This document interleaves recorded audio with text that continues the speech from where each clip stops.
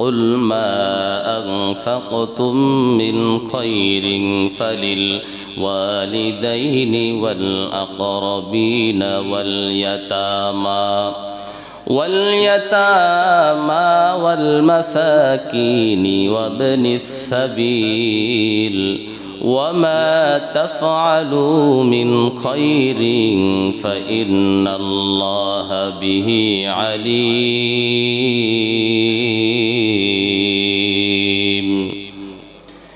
হে পয়গম্বর, আপনার কাছে উম্মতেরা জানতে চাবে ইউনফিকুন আমরা কি খরচ করব, কি ব্যয় করব? আল্লাহ পাক রব্বুল আলামিন তো খরচ করার কথা বলেছেন, ব্যয় করার কথা বলেছেন, ও পয়গম্বর।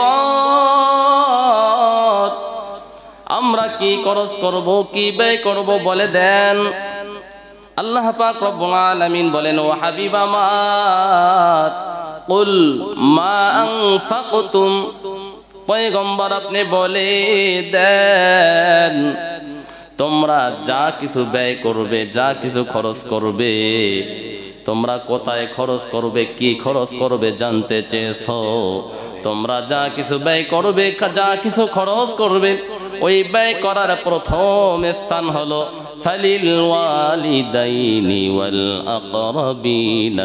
ওয়াল ইয়াতামা ওয়াল মাসাকিনি ওয়াবনিস সাবিল তোমরা যা কিছু ব্যয় করবে, খরচ করবে, এই খরচ করার প্রথম স্থান হলো তোমাদের মা বাবা। প্রথম স্থান কি? মা বাবার ক্ষেত্রে তোমরা খরচ করবে, ব্যয় করবে। تکبیر میں کلمہ میں نمازوں میں اجا میں تکبیر میں کلمہ میں نمازوں میں اجا میں ہے نام الہی چ ملا نام محمد ہے نام الہی چ ملا نام محمد فرماتے ہیں، آدم کو مجھے کھل تری میں۔ فرماتے ہیں، آدم کو مجھے کھل تری میں۔ لکھا ہوا تو باب ملا نام محمد۔ لکھا ہوا تو باب ملا نام محمد۔ ہے ميم میں محبوب مطلق کا اشارہ ہے میم میں محبوب مطلق کا اشارہ پھر محبوب خدا نام محمد.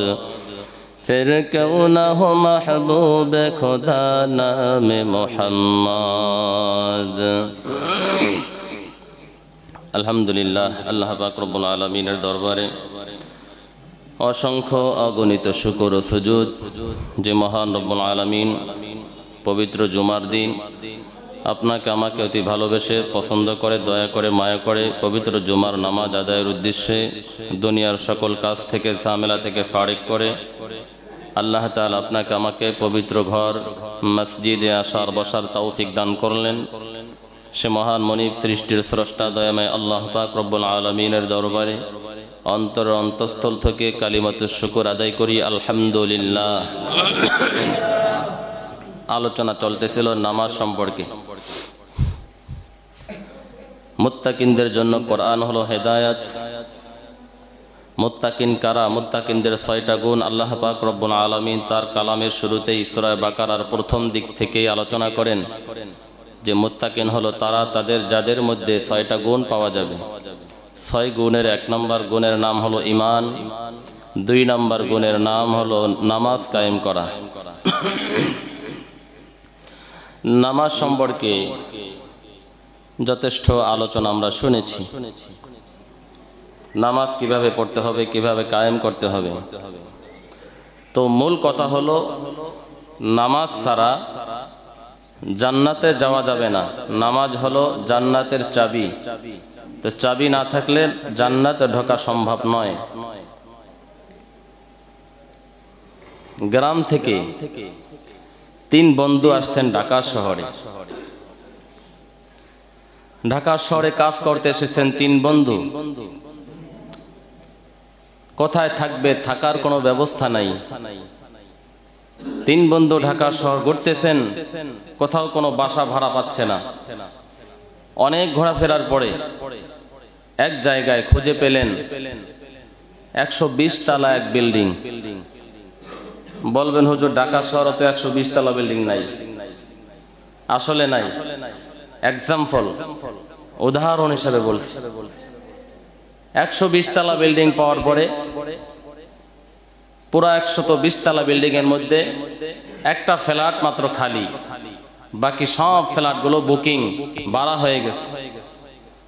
তাও হলো নিরানব্বই নাম্বার তালা। নিরানব্বই নাম্বার তালা হলো খালি, বাকি সব ফ্ল্যাটগুলো ভাড়া হয়ে গেছে, বুকিং হয়ে গেছে। তিন বন্ধু চিন্তা করতেছে, এক বন্ধু বলতেছে, যেহেতু কোথাও কোনো থাকার ব্যবস্থা পাইলাম ওই না তো কষ্ট হলেও আমরা নিরানব্বই নাম্বার তালাটা ভাড়া নেই। ওই ফ্ল্যাটটা ভাড়া নিয়ে আমরা অবস্থান করি। তিনে বন্ধুর পরামর্শক্রমে একশত বিশ তালা বিল্ডিং এর নিরানব্বই নাম্বার ফ্ল্যাটটা তারা ভাড়া নিলেন। কথাবার্তা বলে ক্লিয়ার করে ভাড়া নিলেন। সেখানে থাকবেন। রাত্রি হয়ে যাওয়ার পরে বিল্ডিং এর নিচ তলায় গেলেন। নিরানব্বই তা নাম্বার ফ্ল্যাটে ওঠার জন্য ওখানে অবস্থান করবেন ভাড়া ওকে সেখানে যাওয়ার পরে দারোয়ানকে বললেন, ওঠার ব্যবস্থা করেন। লিফট চালু দেন। দারোয়ান সাহেব বলেন, ইলেকট্রনিক সমস্যার কারণে বিদ্যুৎ নাই, লিফট চলে না। এবং কখন আসবে তার কোনো নিশ্চয়তা নাই। তিন বন্ধু চিন্তায় পড়ে গেলেন। এখানে বসে যদি সময় কাটাই, তো আমাদের তো গন্তব্যস্থানে যাওয়া সম্ভব নয়। তো চলো আমরা হেঁটে উঠি। আমরা নিরানব্বই নাম্বার তালায় হাঁটতে হাঁটতে উঠি।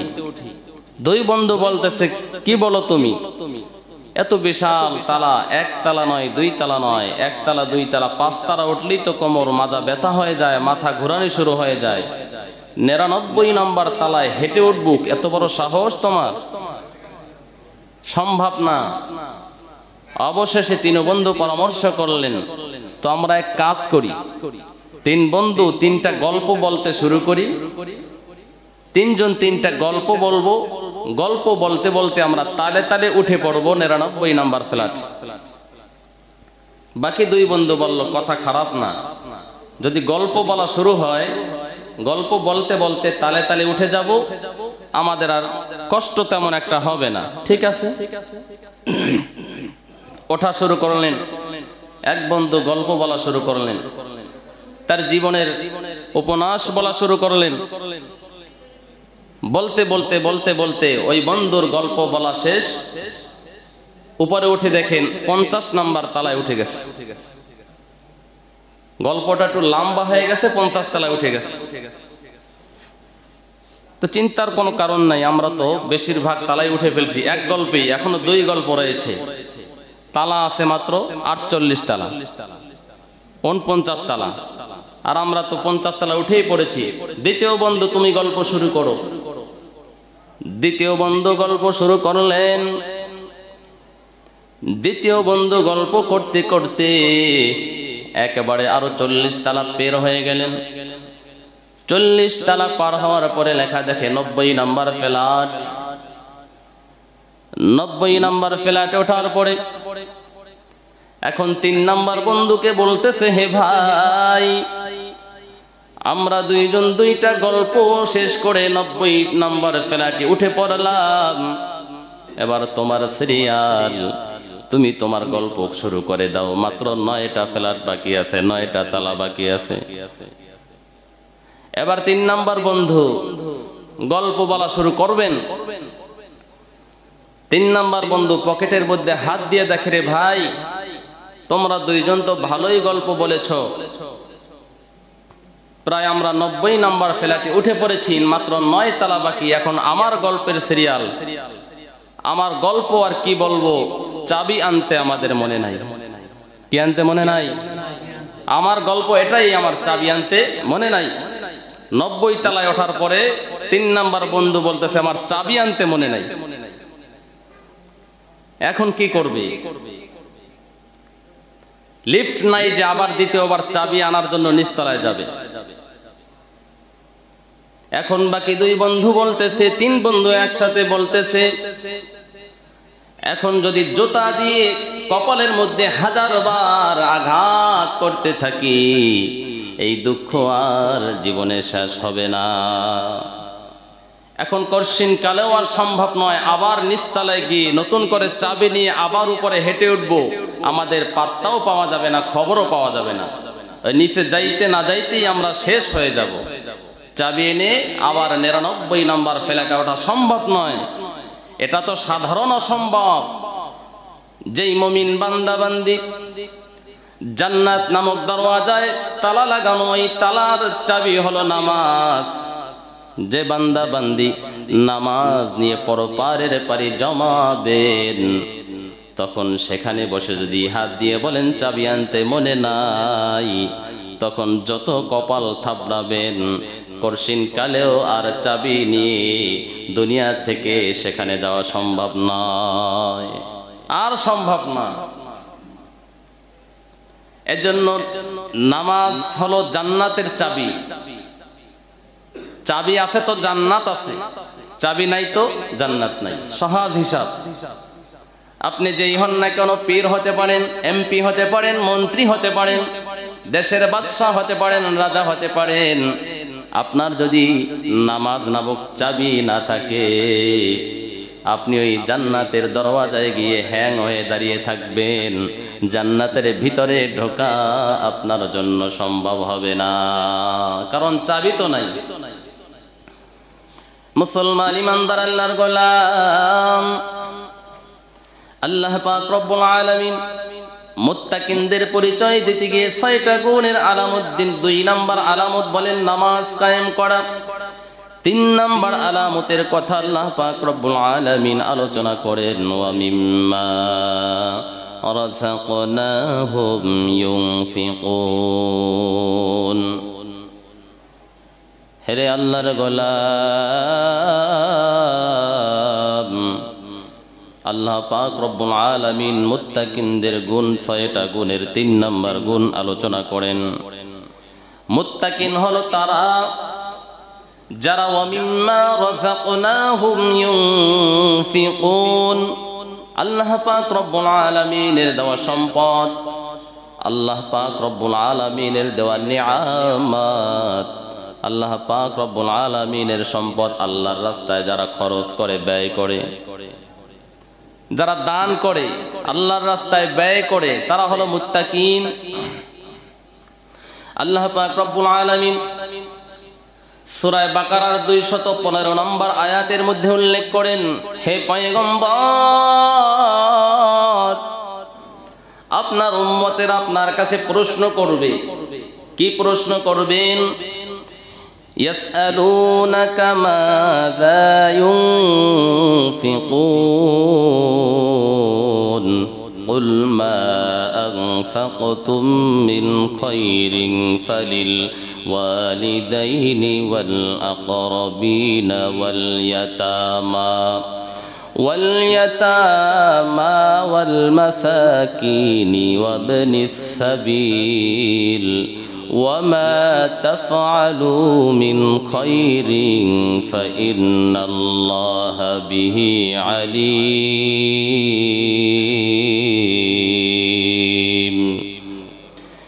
হে পয়গম্বর, আপনার কাছে উম্মতেরা জানতে চাবে আমরা কি খরচ করব, কি ব্যয় করব? আল্লাহ পাক রব্বুল আলামিন তো খরচ করার কথা বলেছেন, ব্যয় করার কথা বলেছেন, ও পয়গম্বর। আমরা কি খরচ করব, কি ব্যয় করব বলে দেন। আল্লাহ পাক রব্বুল আলামিন বলেন, ও হাবিব আমার কুল মা আনফাকতুম। পয়গম্বর আপনি বলে দেন, তোমরা যা কিছু ব্যয় করবে, যা কিছু খরচ করবে, তোমরা কোথায় খরচ করবে, কি খরচ করবে জানতে চেয়েছ? তোমরা যা কিছু ব্যয় করবে, যা কিছু খরচ করবে, ওই ব্যয় করার প্রথম স্থান হলো فللوالدين والأقربين واليتامى والمساكين وابن السبيل তোমরা যা কিছু ব্যয় করবে খরচ করবে এই খরচ করার প্রথম স্থান হলো তোমাদের মা বাবা প্রথম স্থান কি মা বাবার ক্ষেত্রে তোমরা খরচ করবে ব্যয় করবে এখন তো এক শ্রেণীর লোক আছে দানের কথা শুনলে পড়ে খরচের কথা শুনলে পড়ে। যদি বলা হয় দান করেন আল্লাহ রাস্তায় ব্যয় করেন, কিছু কিছু লোক আছে, দানের কথা শুনলেই তাদের চেহারা মলিন হয়ে যায়। অথচ সম্পদ আছে, টাকা আছে, আল্লাহর রাস্তায় দেওয়ার মতো অসংখ্য সম্পদ তার কাছে বিদ্যমান, মজুদ রয়েছেন। কিন্তু দানের কথা শুনলেই খরচের কথা শুনলেই তার মধ্যে ঝালঝালা সৃষ্টি হয়ে যায় কম্পন সৃষ্টি হয় চেহারা মলিন হয়ে যায় আল্লাহর রাস্তায় মোটে খরচ করতেই চায় না সব শুধু জমায়ে রাখবে মনে হয় যেন তিনি সব নিয়ে কবরে যাবে খরচ করতেই চায় না আল্লাহ পাক রব্বুল আলামিন বলেন يا أيها الذين آمنوا هل أدلكم على تجارة على تجارة تنجيكم من عذاب أليم হে ইমানদারেরা তোমাদেরকে আমি এমন একটা ব্যবসার কথা বলে দিব নাকি আল্লাহ তালা ব্যবসার কথা বলতেছেন ইমানদারদেরকে এমন একটা ব্যবসার কথা তোমাদেরকে বলবো আমরা বলবো হ্যাঁ আল্লাহ বলেন ব্যবসার কথা বলবেন না কেন বলেন আল্লাহ তালা বলেন, যেই ব্যবসা তোমাদেরকে যন্ত্রণাদায়ক আজাব থেকে জাহান নামের কঠিন শাস্তি থেকে আল্লাহ তালা হেফাজত করবেন, এমন একটা ব্যবসার কথা তোমাদেরকে বলব? বান্দা বলে হ্যাঁ আল্লাহ বলেন। তাড়াতাড়ি বলেন। আল্লাহ পাক রব্বুল আলামিন বলেন, তুমিনুনা বিল্লাহি ওয়া রাসূলিহি ওয়া তুজাহিদুনা ফি সাবিলিল্লাহি বিআমওয়ালিকুম ওয়া আনফুসিকুম। হে ইমানদারের দল, যেই ব্যবসা করলে আল্লাহ পাক রব্বুল আলামিন তোমাদেরকে জাহান জাহান্নামের যন্ত্রণাদায়ক কঠিন আজাব থেকে হেফাজত করবেন। সেই ব্যবসাটা হলো তোমরা প্রথমত আল্লাহ এবং তার রসুলের উপরে ইমান আনয়ন করার পর তোমরা তোমাদের জান এবং মাল আল্লাহর রাস্তায় খরচ করতে থাকো। তোমরা তোমাদের জান, মাল আল্লাহর রাস্তায় ব্যয় করো, জেহাদের ময়দানে ব্যয় করো। তো জান মাল সম্পদ ব্যয় করার কথা বলেছেন আল্লাহ। কিন্তু আমাদের ব্যয় করার কথা, দানের কথা শুনলেই আমাদের কিছু লোক আছেন। তাদের চেহারা মলিন হয়ে দেয় কষ্টবোধ হয়। আপনার দশ টাকা আছে, আপনি এক টাকা দেন। আপনার দশ লক্ষ আছে, আপনি দশ হাজার দেন। কিতাবের মধ্যে পাওয়া যায় যে ব্যক্তি দশ লক্ষ থেকে মাত্র দশ হাজার দান করেছেন, আর যে ব্যক্তি দশ হাজার থেকে মাত্র দশ টাকা দান করেছেন, ওই দশ টাকাওয়ালায় যেই সওয়াব আল্লাহ তালার কাছে পাবে, ওই দশ লক্ষওয়ালা দশ হাজার দিয়ে যেই সওয়াব পাবে, ওই দশ হাজারওয়ালায় দশ টাকা দিয়ে সমান সওয়াব আল্লাহ তালার কাছে পেয়ে যাবেন। সুবাহান বলে কেন? সে তো দশ লক্ষ থেকে দশ হাজার দিয়েছে। দশ হাজার থেকে দশ টাকা দিয়েছে। সমান সব পাবে কেন? বলে সে তো তৌফিক অনুযায়ী দান করেছেন। তৌফিক অনুযায়ী আল্লাহর রাস্তায় খরচ করেছেন। এজন্যই সমান সওয়াব আল্লাহর নবী, বিশ্ব নবী, পয়গম্বর সাল্লাল্লাহু আলাইহি ওয়াসাল্লাম যুদ্ধের ময়দানে যাবেন। সাহাবায়ে কেরামদের থেকে জানমাল কুরবানি করার জন্য আদেশ করলেন। ও সাহাবায়ে কেরাম তোমাদের যার যা আছে, তোমরা তৌফিক অনুযায়ী আল্লাহর রাস্তায় জমা করো। বড় বড় সাহাবিরা সবচেয়ে ধনী ছিলেন ওসমান গনি রাদিয়াল্লাহু তাআলা আনহু। তিনি তার সম্পদ থেকে অর্ধেক সম্পদ এনে আল্লাহর নবীর সামনে হাজির করলেন, বিশাল সম্পদের পাহাড়। ওসমান রাদিয়াল্লাহু তাআলা আনহু, যার নামের শেষে গনি মানে ধনী ওসমান গনি রাদিয়াল্লাহু তাআলা আনহু সম্পদের অর্ধেক এনে বিশাল সম্পদের পাহাড় আল্লাহর নবীর সামনে হাজির করলেন। কিন্তু পক্ষান্তরে আবু বকর রাদিয়াল্লাহু তাআলা আনহু খুব গরিব। তেমন সম্পদের মালিক নাই, সম্পদ বেশি একটা নাই।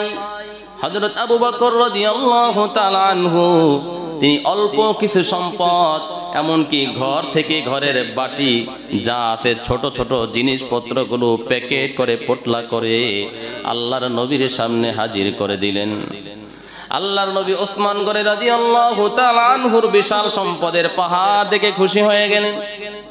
হজরত আবু বকরের অল্প সম্পদ ডাক দিয়ে বলে, হে আবু বকর কি ব্যাপার? তুমি ঘর থেকে ছোট ছোট বাটিগুলো নিয়ে এসছো। ছোট ছোট কাপড়গুলো সব তুমি, আমি আল্লাহ পাক রব্বুল আলামিনের রাস্তায় আমি বিশ্ব নবীর দরবারে উপস্থিত করে দিয়েছ। হে আবু বকর, কি ব্যাপার? তুমি ঘরের জন্য, তোমার ছেলে মেয়ের জন্য কি রেখে এসেছ? হে আবু বকর, তুমি ঘরের জন্য কি কিছু রেখে আসো নাই? আবু বকর সুন্দরভাবে জবাব দিয়া বলেন, হে পয়গম্বর, আমি আমার ঘরে যা ছিল তৌফিক অনুযায়ী নয়, আমার সমস্ত সম্পদগুলো আপনি রসুলের দরবারে আমি এনে উপস্থিত করে দিলাম। হে আবু বকর, তুমি ঘরের জন্য কি রেখে এসেছ? ও পয়গম্বর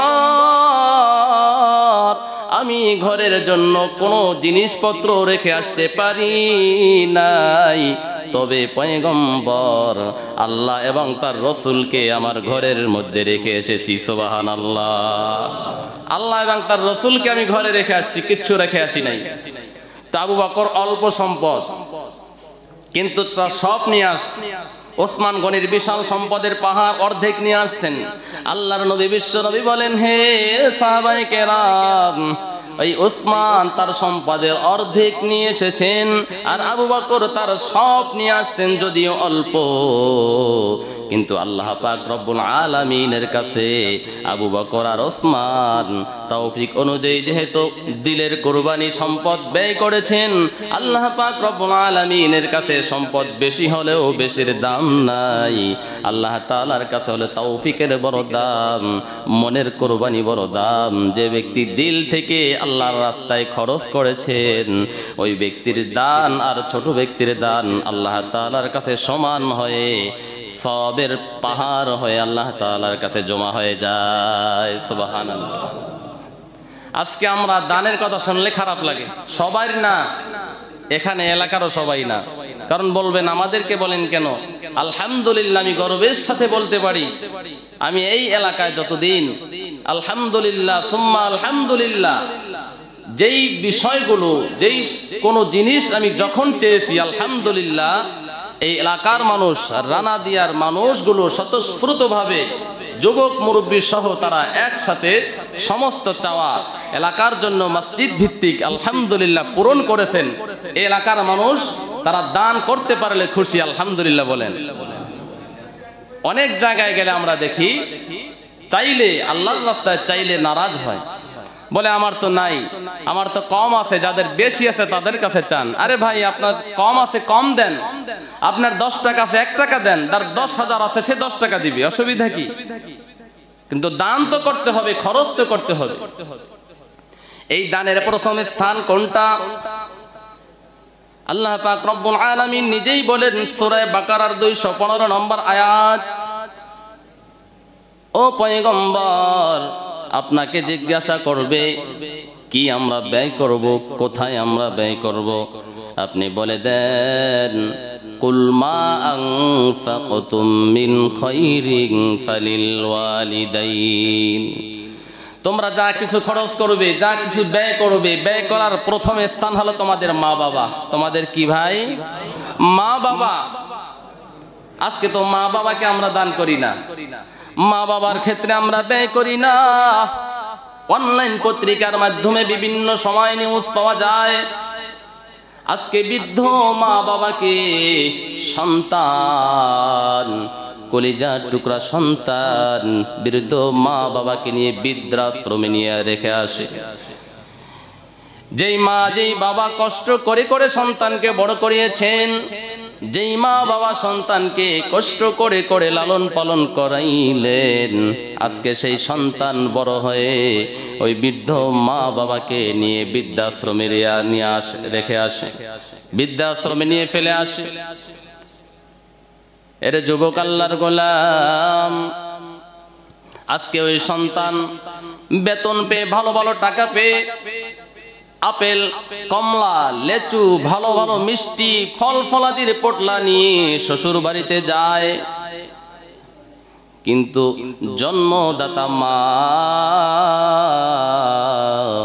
জন্মদাতা পিতা, ঘরের মধ্যে একটা আপেল খাওয়ার মতো তৌফিক হয় না। মা যদি সন্তানকে বলে, হে সন্তান ঢাকা থেকে আসতেছ আমার জন্য, কালো আঙ্গুর নিয়ে আসো। সন্তান এক ধমক দিয়ে বলে, টাকা নাই। কিন্তু দেখা যায়, এই সন্তান বন্ধুর বাড়িতে গেলে, শ্বশুর বাড়িতে যাওয়ার সময় ভালো ভালো ফল, যত ধরনের নতুন নিউ ফল আছে, সমস্ত ফলের পটলাগুলো নিয়ে শ্বশুর শাশুড়ির সামনে নিয়ে দেয়। রে আল্লাহর গোলাম, কিন্তু উচিত ছিল তোমার জন্মদাতা মাতা পিতার সামনে আগে ভালো কাপড়টা দেওয়া। এক শ্রেণির যারা মেয়ের বাবা আছেন ছেলে নাই, রাগ করেন না। এখানে আমি বলব, মা বাবাকে আগে দেন, তার মানে যে শ্বশুর শাশুড়িকে দিবে না এমন না। শ্বশুর শাশুড়িকে তো দিবেই, কিন্তু আগে মা বাবাকে দিবে। এখানে আল্লাহ তাআলা বলেছেন, সর্বপ্রথম তোমার মা বাবার ক্ষেত্রে তুমি ব্যয় করো। আমি নিষেধ করব না শ্বশুর শাশুড়িকে দিবেন না, অবশ্যই দিবেন, কেন দিবেন না? কিন্তু আগে দিতে হবে মা বাবাকে। আমরা রাস্তার মধ্যে চলাফেরা করি। প্রত্যেকটা গাড়ির পিছনে লেখা দেখি আমরা। কি লেখা দেখি? শ্বশুর শাশুড়ির দোয়া। কথা বলেন? হাই, মা বাবার দোয়া না শ্বশুর শাশুড়ির দোয়া? আই হাই। প্রত্যেকটা গাড়ির পিছনে লেখা থাকে মা বাবার দোয়া। হে যুবক গাড়ির পিছনে, দোকানের সামনে, হাঁটতে, চলতে, সব সময় তুমি স্লোগান দাও, মা বাবার দোয়া। কিন্তু তুমি ভালো খাবারটা তো নিয়ে দিলা শ্বশুর শাশুড়ির কাছে। তুমি ভালো ভালো খাবারটা নিয়ে যাও তোমার মুর্শিদ কেবলার কাছে। তুমি তোমার ওস্তাদের কাছে। তাহলে তুমি ওই নামটা কেটে এখন লিখে দাও শ্বশুর শাশুড়ির দোয়া। ওস্তাদের দোয়া, পীর মাসায়েখের দোয়া। তাহলে ওখানে লেখলা একটা, কাজ করো আর একটা বাটপারি, ধোকাবাজি ছাড়া আর অন্য কিছু নয়। রে আল্লাহর গোলাম, মা বাবার দোয়া, তার মানে মা বাবার দোয়া যদি নিতে হয়, মা বাবাকে কষ্ট দিয়া কখনো মা বাবার দোয়া নেওয়া যাবে না। বিভিন্ন সময় খবর আসে, হুজুর, সন্তান কথা শোনে না, সন্তান বিবাহের আগে খুব ভালো ছিল। ও হুজুর, আমি মা ছাড়া কিছুই সন্তান বুঝতো না। বাবা ছাড়া সন্তান কিছুই বুঝতো না। সন্তান বিবাহ শাদী করার পরে এখন মা বলে, আর ডাক দেয় না। সন্তান বাড়িতেও আসে না। টাকা পয়সা কি করে তাও হুজুর জানি না। অনেক সময় বিচার আছে, হুজুর একটু দোয়া করেন সন্তানের জন্য, সন্তান তো কথা শোনে না। এরে যুবক আল্লাহর গোলাম আজকে নিজে বিবাহ শাদী করে স্ত্রীকে নিয়ে ভালো রুমের মধ্যে, টাইফওয়ালা রুমের মধ্যে আরাম করে ঘুমাও। পাশের ঘরের মধ্যে বৃদ্ধ মা, বৃদ্ধা মা, বৃদ্ধ বাবা। বুড়া মানুষ, মা বাবা পাশের ঘরের মধ্যে কষ্ট করে করে, ভালো একটা গায়ের মধ্যে ল্যাপ নাই, কম্বল নাই, শীতের মধ্যে শীত কাটাচ্ছে। ঔষধ খাবে টাকা নাই, ঔষধ নাই। কিন্তু আমি গোপন ভাবে ভালো ভালো খাবার, একই বাড়ির মধ্যে, একই ঘরের মধ্যে, পাশের রুমে আমার স্ত্রীকে নিয়ে খাচ্ছি। এরকম ঘটনা একটার দুইটা নয়। অসংখ্য অগণিত ঘটনা আমাদের কাছে নিউজ আসে হুজুর। সন্তানকে এত কষ্ট করে লালন পালন করাইলাম। সন্তানকে এত কষ্ট করে বড় করাইলাম। আজকে সেই সন্তান বিবাহ শাদী করার পরে তার স্ত্রীকে নিয়ে ভালো খাবার খায়। আজকে সেই সন্তান ভালো ভালো খাবার, ভালো ভালো আনন্দ, প্রতি, ভালো ভালো পোশাক স্ত্রীকে নিয়ে পড়ে, শ্বশুর বাড়িতে যায়, শাশুড়িকে নিয়ে দেয় ও হুজুর, আজকে আমি বৃদ্ধা মা। আমি বৃদ্ধ বাবা, একটা ঔষধ, ট্যাবলেট খাওয়ার মতো টাকা আমার কাছে নাই। বাবার কাছে চাইলে পরে বাবা সন্তানের কাছে চেলে সন্তান ধমক দেয়। নাই দিতে পারব না, দেখো না এই সমস্যা, সেই সমস্যা। কিন্তু আল্লাহ পাক রব্বুল আলামিন বলেন, হে গোলাম তুমি যা কিছু খরচ করবা যা কিছু ব্যয়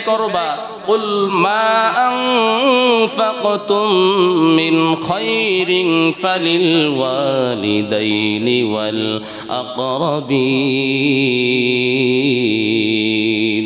তুমি যা কিছু ব্যয় করবা যা কিছু খরচ করবা সবার আগে তুমি মাতা পিতার, মা বাবার পিছনে খরচ করো।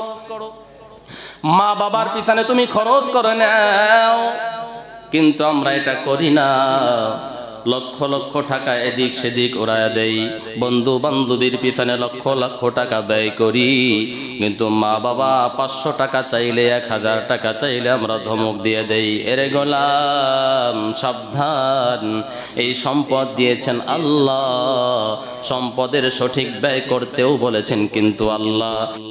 সর্বশেষ ইসলামিক ভিডিও সবার আগে পেতে আলহাদি মিডিয়া সাবস্ক্রাইব করে পাশে থাকা বেলাইকনটি ক্লিক করুন। ধন্যবাদ।